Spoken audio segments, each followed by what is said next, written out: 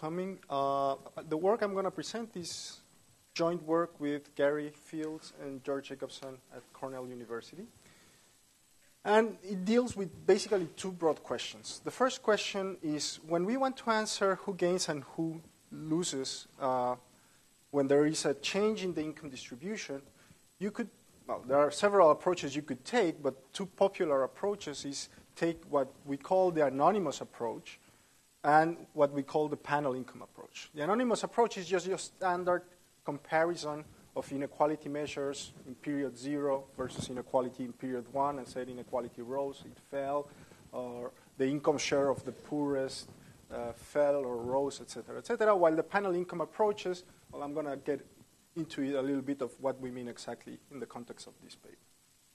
The second question we deal with is how our view of inequality is altered if instead of looking at inequality at a point in time, we look at the inequality of average incomes. So if we have the income of an individual or a household that we observe through panel data at several points in time, uh, if we focus on the inequality of the average income that get, it's observed across several periods, how is our view of inequality altered? And more, the, the question that I want to emphasize, that I want to deal with, is what factors, if there is an equalization or disequalization of this average income, which tends to be a measure of more permanent income, right?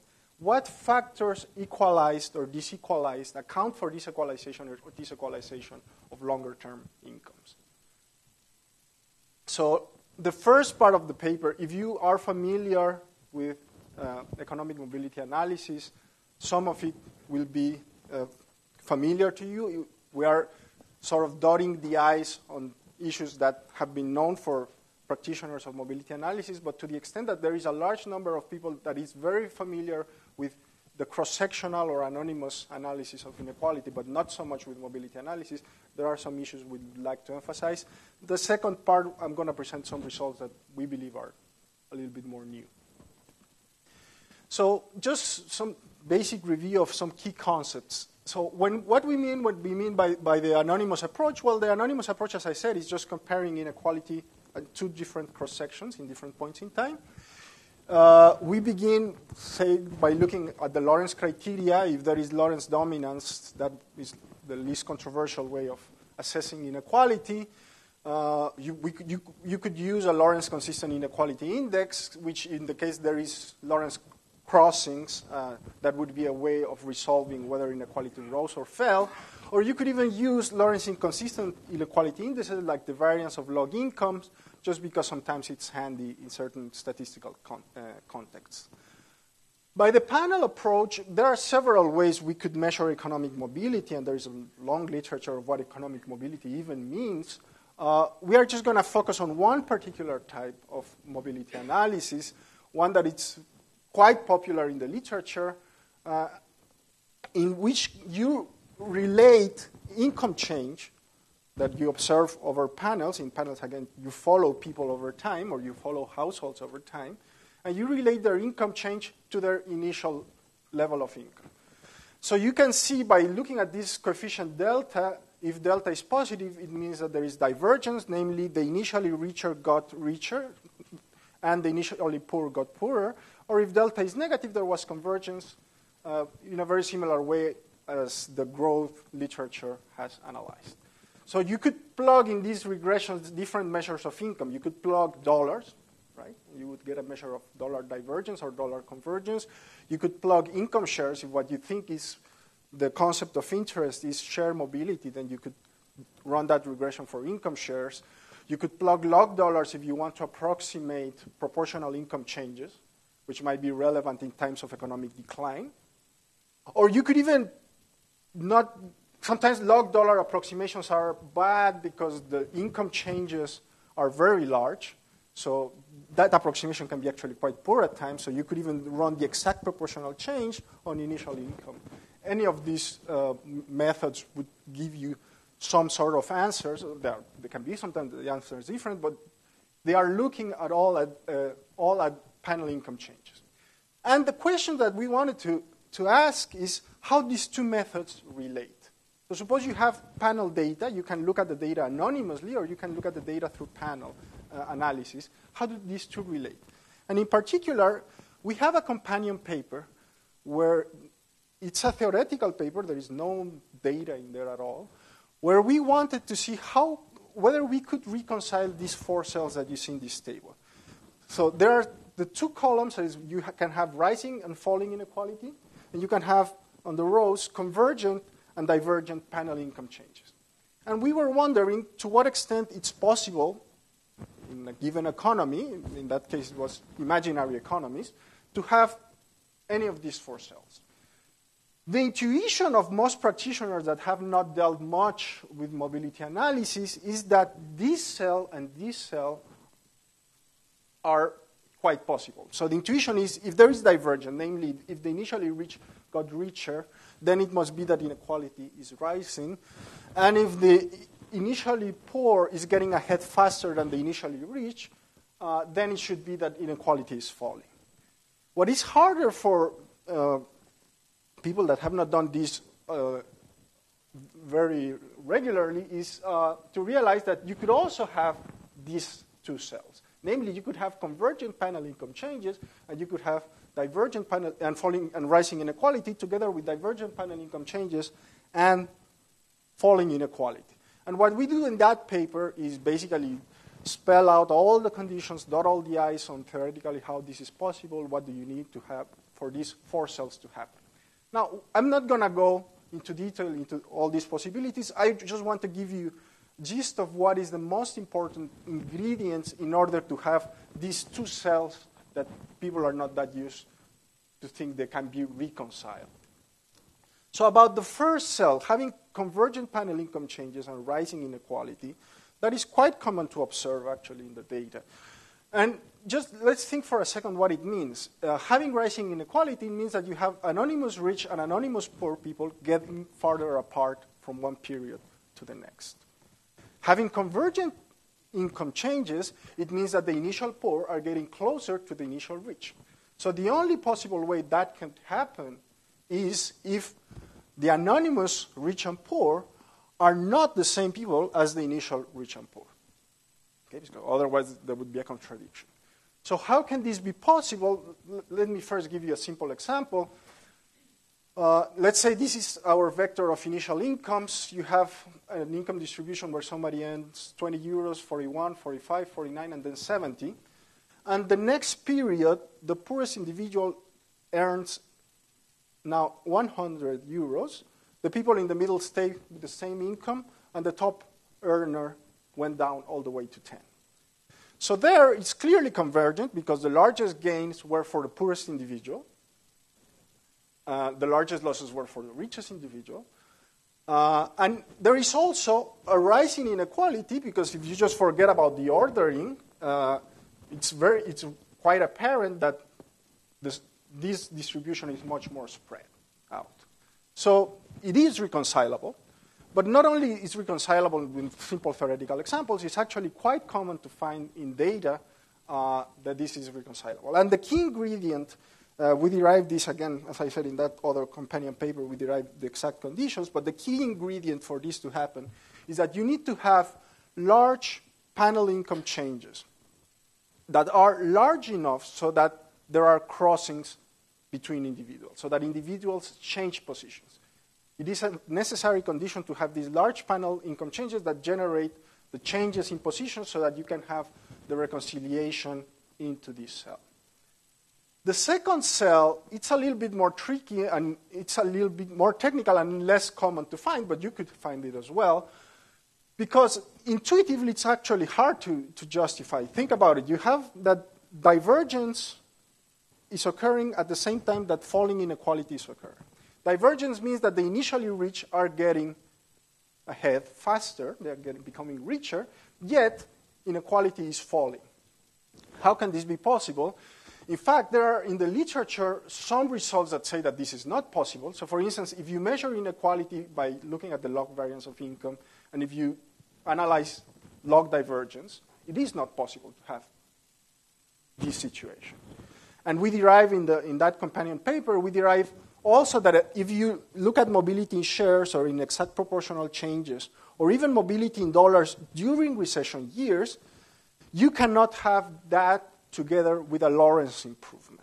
So there are certain measures of mobility and there are certain measures of inequality for which our intuition is correct, and you cannot have falling inequality together with divergent income changes.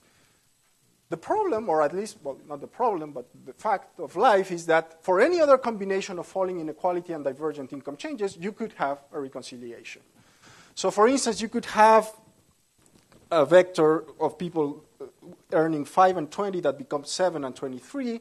This is, there is a Lorenz improvement, believe me, uh, and there, but yet there is divergence in dollar changes. So it really, the reconciliation of the other cell of falling inequality and divergent income changes, it is possible just because how we decide to measure or how you decide to measure inequality and mobility. So I guess here the message is be careful. It is very easy to find results that seem counterintuitive, and the devil is hidden in the details of measurement. So if you are analyzing panel data where you have the, the freedom to do both inequality anonymous analysis and mobility analysis, and you find yourself in one of these cells, do not be surprised. It is possible, and the reason is, is because, again, it, it really, it really matters how you measure inequality and how you, matter, uh, how you measure mobility at the same time. Okay, so now, uh, one thing that we wanted to do just to illustrate that this is not just some numbers that we are uh, coming up with is we wanted to illustrate with some data that we have at hand from other projects. So we took a labor survey in urban Mexico uh, that measures earnings. Uh, we took labor force participants, including the unemployed, and this survey follows individuals not for a long time, for five quarters, but we can do some mobility analysis with it. So let me show you quickly what we have. Uh, inequality, as we saw, I think it was in yesterday's presentation, Inequality in Mexico has a period of rising inequality in the early 90s, then it fell and then somewhat stabilized uh, afterwards. Yet, so this is the anonymous approach, this is the cross sectional approach. Yet, when you do a mobility analysis with the sorts of regressions that I presented before, you get that your delta is negative always, namely, there is convergence. Okay? And this is not just a Mexican weird thing or some or my type of data. This type of analysis has been done across the world, and convergence is the rule rather than divergence. In fact, I can only think of the case of China in recent years. I think there has been found divergence in earnings. For the most part, convergence dominates, and there is a, a whole sorts of reasons of why that is happening. Uh, just to give you a feeling of what's hiding behind this, we just took some transition matrix between fixed income categories in initial earnings and in final earnings. As usual, most of the people tend to stay within their income category or in adjacent uh, income categories. They, if they move, they move to close categories. They don't move much. There is some movement, there is churning in the labor market.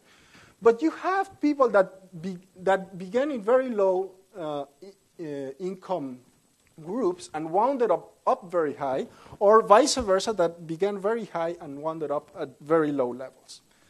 Now, some of you might say, well, yeah, of course, but you had the unemployed inside there. And yeah, part of it is the unemployed, but it's not, I can assure you, this is not driven by the unemployed. I could take out the unemployed of the picture, and it would be the same story. Uh, so, really, most labor markets, and this is again not exclusive of my country, uh, most labor markets they have a lot of churning to them.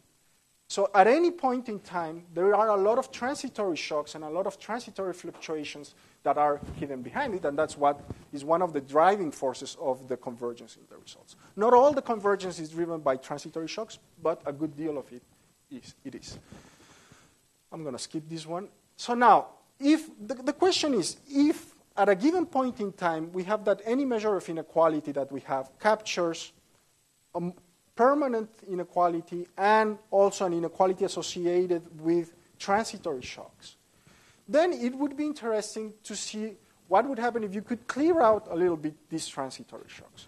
So the literature, and there is a, again a very important tradition in the literature on how to do this, the easiest way probably is just to look at the income distribution, at the income inequality of average earnings. Because if you average earnings over some periods of time, you tend to average out these transitory shocks.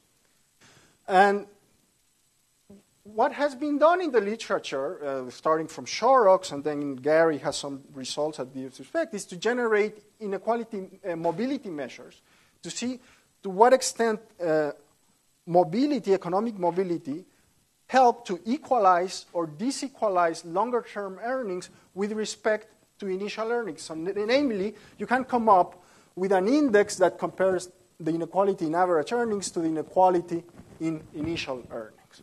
So that's been done in the past, and we do this with our data. But the new piece that we add here is to say, okay, if we want to compare these two, we can come up with a measure of how much mobility equalized longer term earnings, which is just this gap between the inequality of initial earnings minus the inequality of average earnings. If it's positive, it means that there was an equalization. If it's negative, it means that there was a disequalization. And what we do here, that it's a little bit new, is just to take some older decompositions by Fields and by Yun, an extension done by Yun, in order to find out what observable characteristics can't account for this equalization or this disequalization.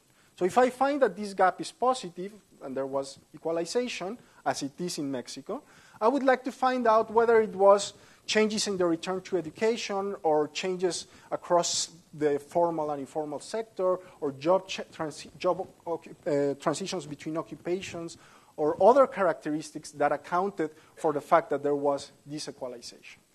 So basically, these decompositions here were not devised to be applied to this measure. They were devised to see whether there was what accounts for equalization or disequalization comparing two cross sections. And the only new piece we add here is say, okay, instead of applying it to two anonymous inequality measures, let's use it to analyze this gap that is a measure of equalization of longer term incomes. And this is what we find. Well, first of all, this is just to show you this is a measure of the equalizing mobility gap that I just plotted. The fact that it's positive, uh, it tells you that if over the five quarters that I observe people, uh, economic mobility tends to equalize earnings, longer term earnings. And if I go to what, as to what factors account for that, I, I don't know if you can really see, there are some shaded boxes. Can you actually see it? I'm going to try to point them out to you.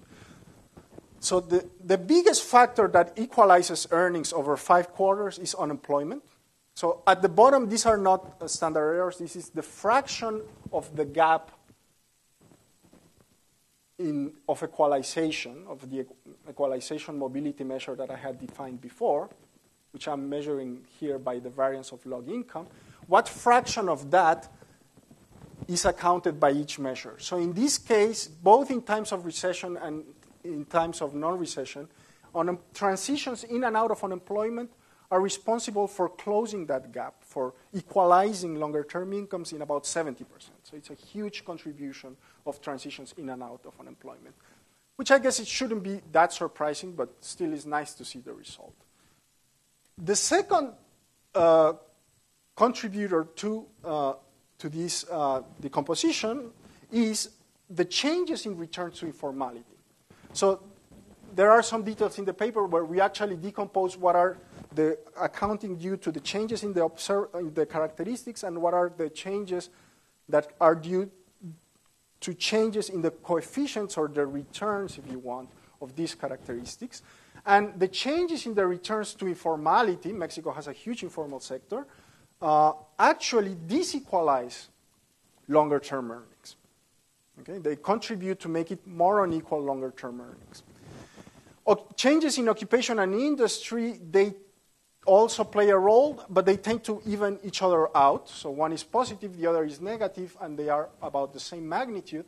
And interestingly enough, traditional factors like gender, age, and education that do play some role in explaining inequality levels don't play actually much of a role in explaining uh, this equalization. So gender, age, and education do not actually account for much, except maybe here in times of recession your uh, the returns of education play a little bit more of a role, but it's still limited. Okay, so let me just conclude right now. Again, the message is you can get very different answers if you look at the distribution of income, either from a cross sectional approach or from a panel income approach. We think both are meaningful, uh, but I think you really need to be careful to think which one is the one you want to use, uh, depending on the question you want to answer. And we present as a small new contribution uh, an intuitive way to account for the observable factors that equalize average earnings relative to initial. And we think that that method has potential because, okay, this is Mexican data, five quarters, but if you look at longer panel data like the ones that exist in developed countries, there you could have data for five years uh, or even longer, like the PSID or the German SOEP. Uh, and then you can have a much greater degree of equalization or disequalization over longer periods. And you could even put in your list of observable characteristics, you could even put policy variables and see if a given policy intervention helped equalize or disequalize permanent earnings. So we think that this is a simple technical application that can have lead to interesting answers when applied in other contexts. I stop here. Thanks very much, Robert. That's very, very interesting. Um, I'd like to invite uh, Daniel